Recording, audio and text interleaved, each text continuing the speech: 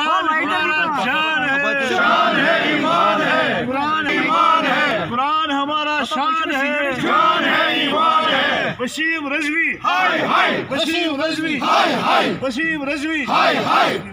उसी बद वक्त हाय हाय। बद वक्त वसीम रजवी फांसी दो। कुरान की दो फांसी दो। कुरान की बेरमत करने वालों को। फांसी दो फांसी दो। रजवी को फांसी दो। फांसी दो। रजवी को फांसी दो। फांसी दो।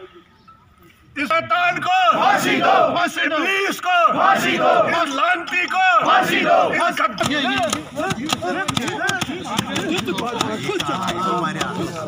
वसीम रजवी को फांसी दो फांसी दो। वसीम जानमी को। फांसी दो। देखिए मैं वसीम रजवी को भरपूर मजम्मत करता हूँ अपनी पार्टी के ओर से पूरे कश्मीर भारतीय जनता पार्टी के ओर से।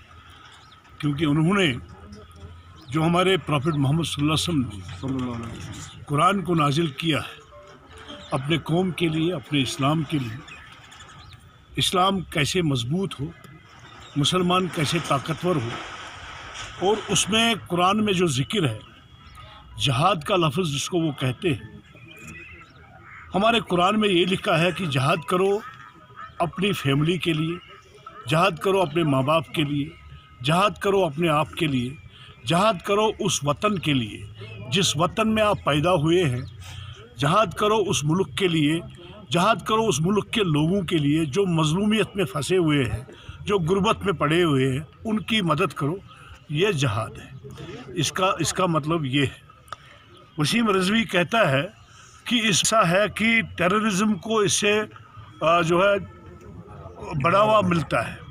मैं वसीम रजवी को कहना चाहूँगा, तुम अपनी नज़रिया से ये सोच रहे हो, ये गलत है तुमको इस्लामी शरीयत के मुताबिक 200 कोड़े के आप हकदार भी हो और आप जो है, जेल जाने के काबिल भी हो। कुरान जो हमारी पवित्र किताब है और कुरान के ही नक्श कदम पे हमारे विश्व में, हमारे साइंटिस्टों ने कुरान का ही जो हमारे प्रॉफिट मोहम्मद वसल्लम ने, जो अल्लाह ताला ने नाजिल किया, उनका कुरान उसमें लिखा है कि दुनिया कैसे चलेगा।